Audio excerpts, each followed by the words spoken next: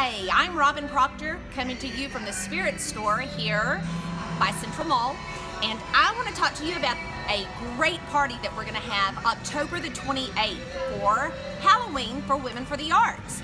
So, this party, I want to just tell you a little bit about it. This is our second annual party for Women for the Arts Halloween.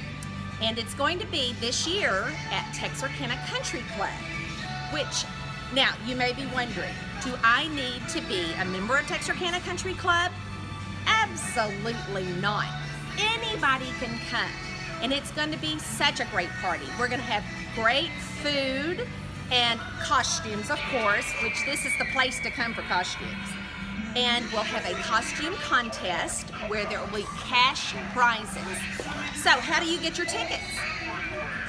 Very easy. You can either call TRAC, Texarkana Regional Arts and Humanity, or you can call Lynn Witt or Robin Proctor, and we will get you tickets. I will give you those phone numbers in just a minute.